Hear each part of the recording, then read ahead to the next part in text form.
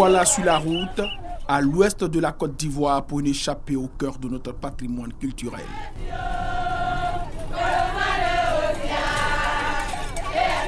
Cette fois, c'est déroulé un village de la sous-préfecture de Zagoué, dans la région du Tonpi, dont la ville de Mans est chef-lieu. Mans est une euh, commune de la Côte d'Ivoire, située à, l'ouest de la Côte d'Ivoire, avec une population estimée à plus de 200 000 euh, habitants, une commune euh, cosmopolite, une commune avec beaucoup d'atouts touristiques, une commune avec une population qui est très ouverte, une population accueillante, chaleureuse, une population qui vit de culture, de tourisme, de commerce, d'artisanat. Ma est une euh, région touristique par excellence, avec euh, de nombreux sites qui méritent en tout cas le déplacement, qui méritent que les Ivoiriens d'abord développent le tourisme intérieur, qui méritent aussi que les étrangers, et les touristes étrangers viennent pour pouvoir donc toucher euh, tous ces atouts touristiques. Notre ambition, notre vision, c'est de redonner à moi sa place dans, euh, ce grand, euh, dans ce grand projet gouvernemental qui est de rendre la Côte d'Ivoire attrayante à nouveau pour les touristes. Moi, avec tout ce qu'il compte comme atout touristique, peut jouer ce rôle.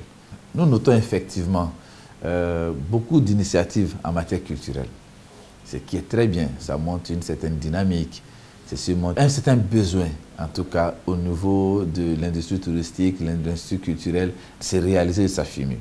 Mais on a besoin aussi que tout ceci soit euh, plus ou moins canalisé, ordonné, pour que nous puissions travailler à rendre ces festivals-là les plus attrayants possibles et avoir euh, l'efficacité recherchée.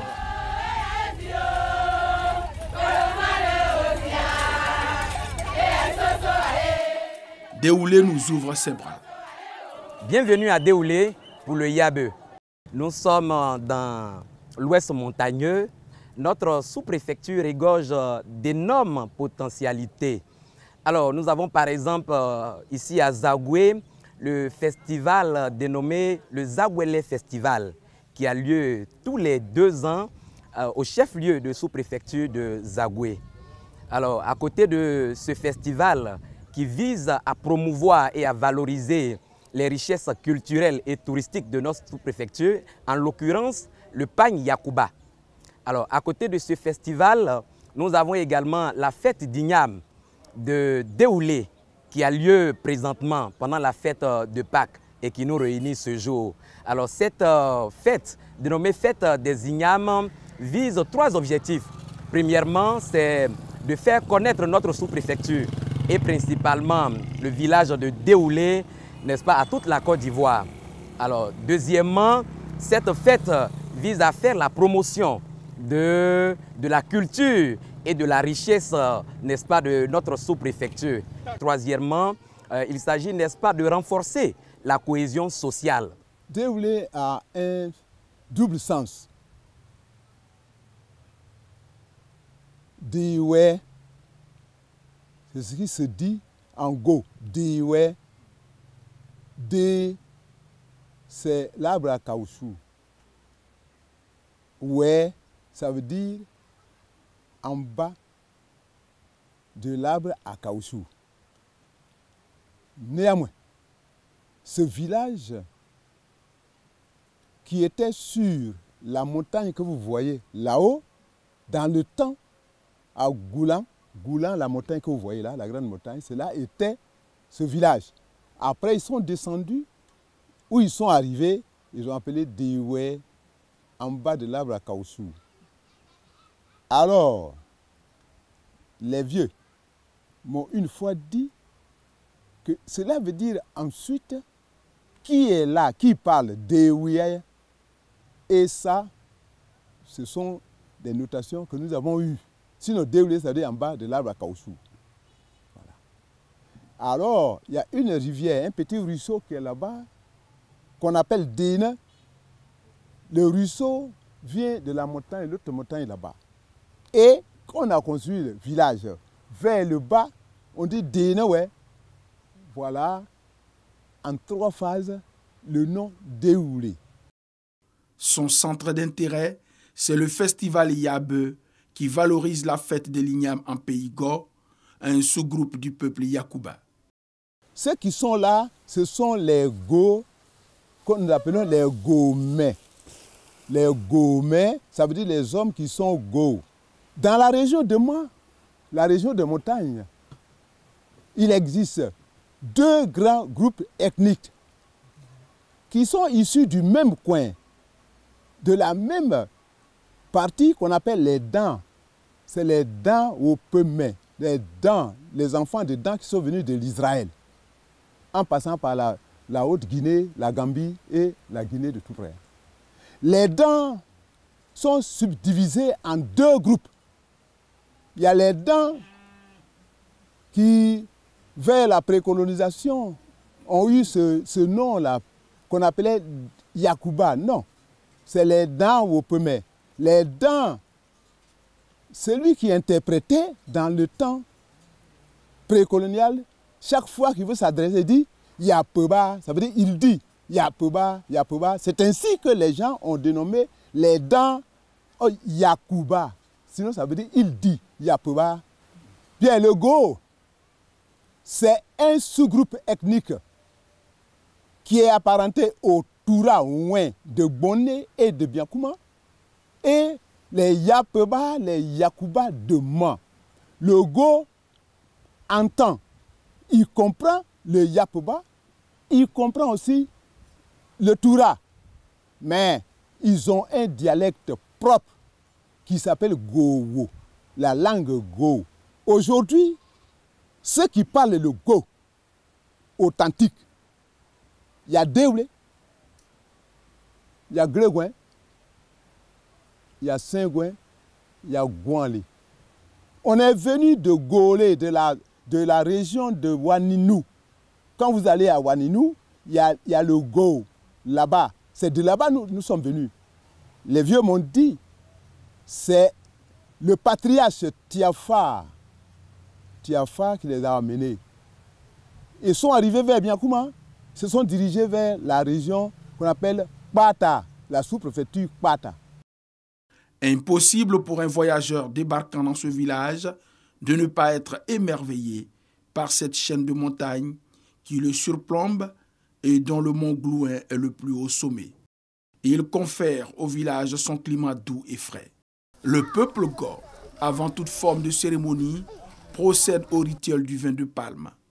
Chez le Go, où nous sommes, quand un étranger de marque arrive dans le village, on lui offre la boisson que nous appelons oué. C'est le bandit blanc extrait de palmier.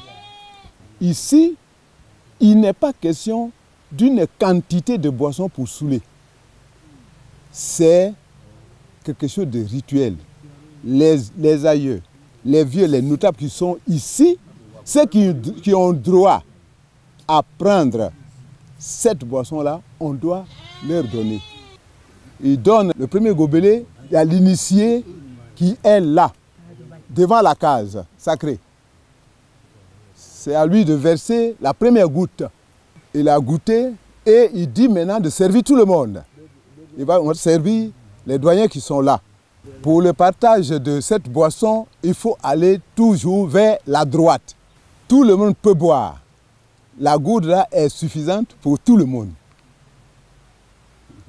Cette boisson devient un sacrement à partir du moment où ça vient de la case sacrée. Nous y prenons tous part. Le neveu qui a servi la boisson demande à toute l'assemblée, il dit à l'assemblée que cette boisson est terminée. On va donner au patriarche qui est là pour la bénédiction.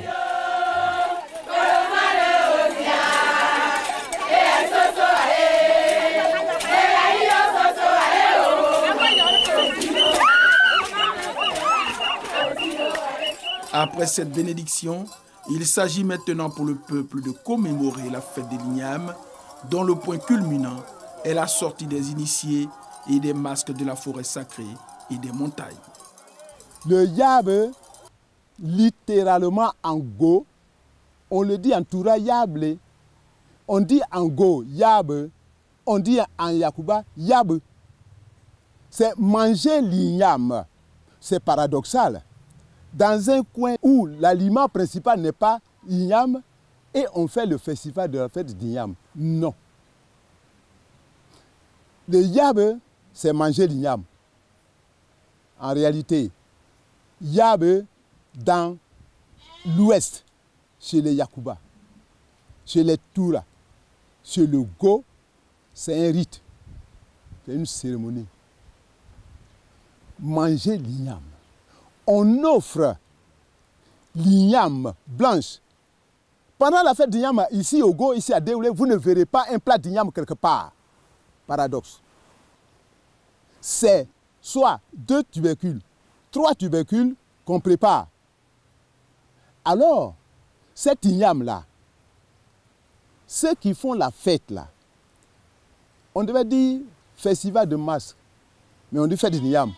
C'est les cérémonies festives de cette cérémonie qui a donné le mot fête d'igname.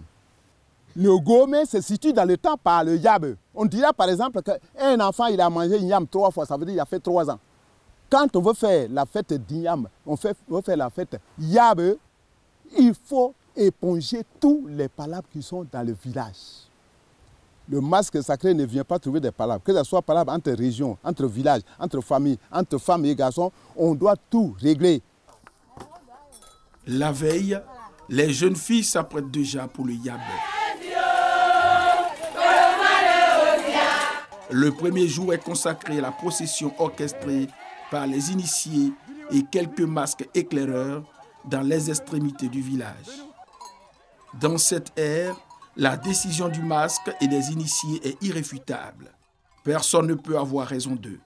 Selon les anciens, les masques habitent dans les grottes des montagnes ou dans les forêts, précisément dans les enclos aménagés par des initiés. Le go croit à la réincarnation. Nous sommes animistes. Et on offre l'igname au masque. Le masque est un lien entre les morts et les vivants. C'est pendant le voyage des masques chez les humains dans les villages qu'ils résident dans les cases sacrées. Ce sont des espaces gardés, entretenus par des sages respectueux des valeurs traditionnelles, strictement interdits aux femmes ainsi qu'aux personnes non initiées. La route là, là c'est trop vérimé, donc je dois barrer la route ici avant que les masses arrivent. Là, mets-toi, nous deux, mets-toi, nous deux, Bien, Warira. Bakrisson. Bakrisson. Le nom, c'est Bakrisson. C'est Bakrisson. Voilà. C'est lui qui va chercher les masses sur, sur le terrain, en haut là-bas, sur la montagne, et puis il descend. Quand ils arrivent au village, c'est lui qui prend le devant. Moi, mon rôle, je dois, je dois prendre la devanture de tous les masques. Comme le premier masque qui est devant, Droussier, c'est nous, ça sort. Donc c'est moi qui dois prendre les devants.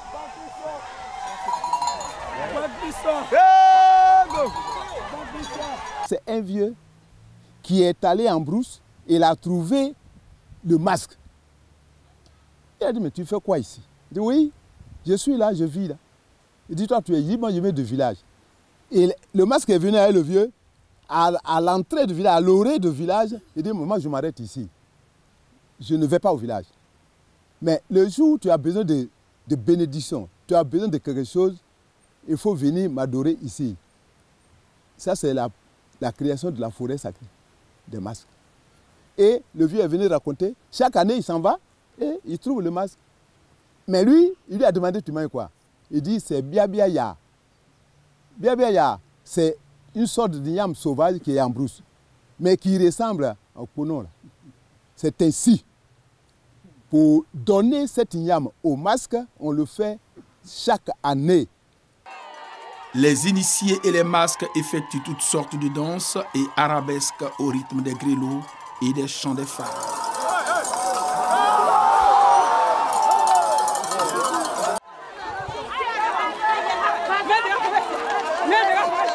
Très tôt le matin, les trois masques Zaclo vont partir chercher les masques.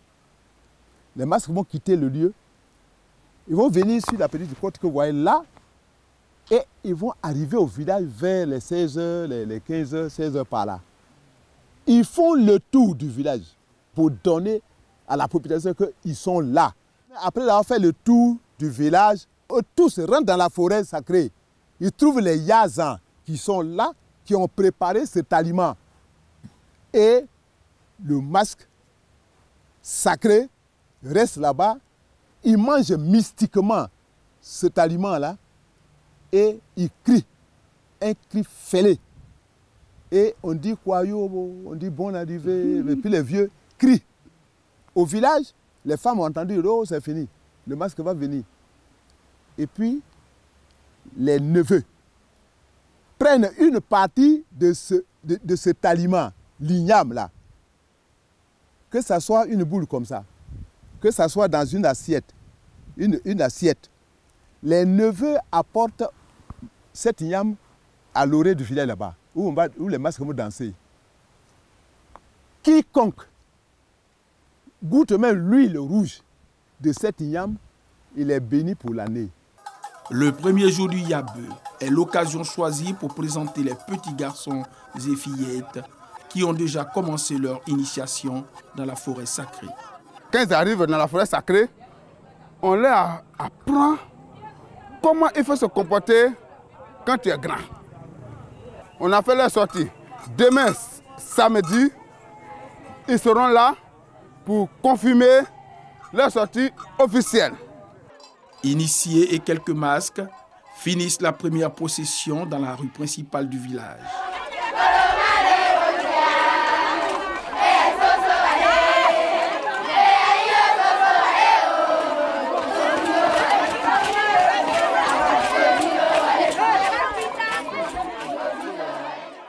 Déoulé, un village situé à flanc de montagne, caractérisé par des bâtisses en dur et quelques cases rondes.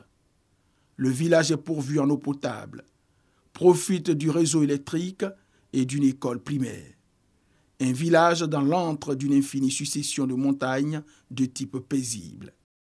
La promotion de la culture et des arts traditionnels de notre patrimoine fait partie des objectifs que nous sommes fixés.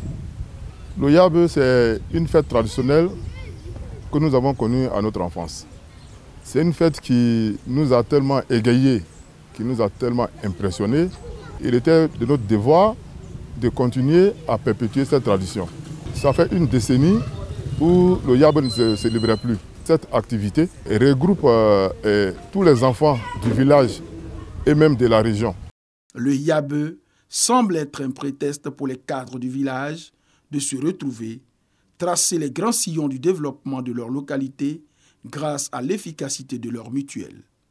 Aujourd'hui, nous avons de l'eau courante à dérouler grâce aux actions que nous menons à travers la mutuelle, grâce aux, retrouvailles que nous avons euh, organisées depuis euh, la fête des Ignames. Nous avons institué une journée d'excellence où nous venons chaque année au village pour célébrer nos meilleurs élèves et pour encourager les enseignants. Nous avons réussi au niveau des projets du village à finaliser le projet du foyer des jeunes ici avec l'aide du conseil régional.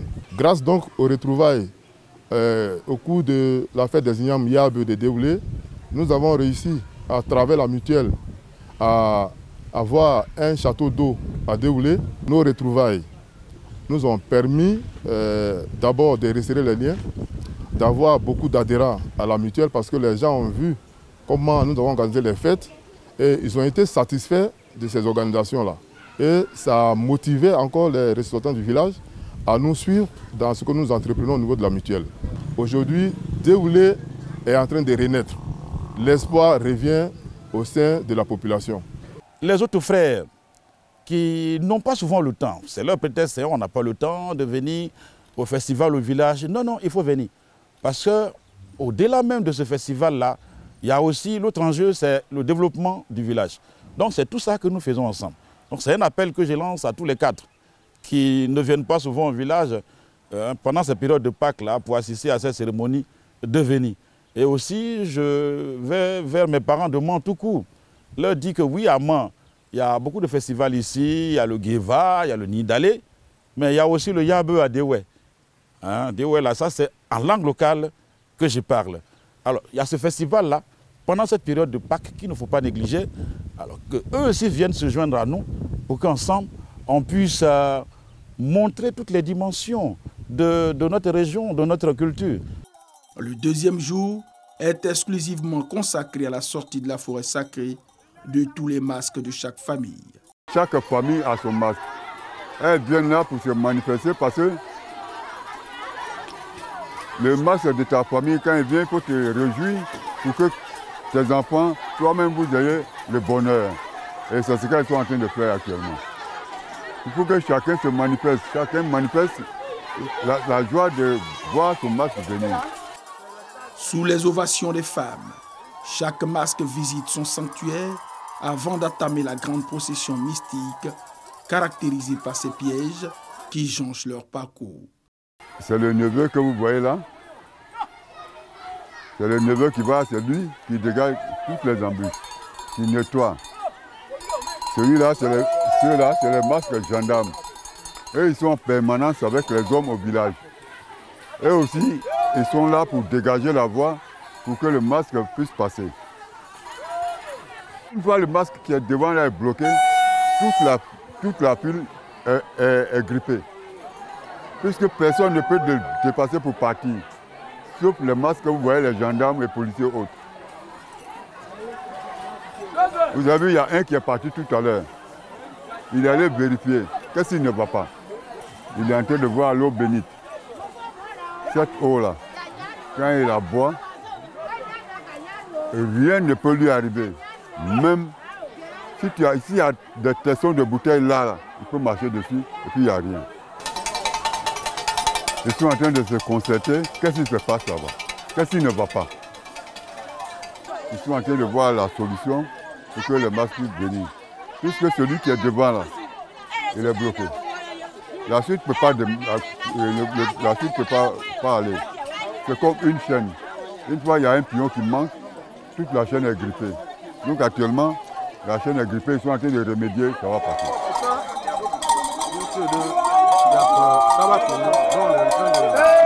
Celui qui est devant là, il n'est pas là.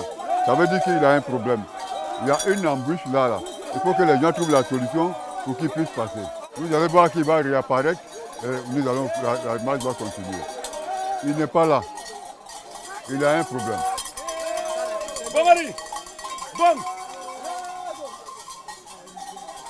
Celui qui était bloqué, il y avait une embûche. C'est pas, il est sorti de nulle part, il, il réapparaît. Donc euh, le voici. Aujourd'hui, jeudi, c'est le carnaval, la danse guerrière. Les gens se tatouent. Il y a des gens qui ont des lances, qui ont des flèches, qui ont un habillement bizarre, habillement de guerre. On noircit un côté de la figure, on met, rouge ici, il y a des clowns qui sont dedans et ils viennent au village pour faire le tour du village. Le dépositeur de tous les masques de Déoulé, lance à la main, donne le top départ de la procession de purification.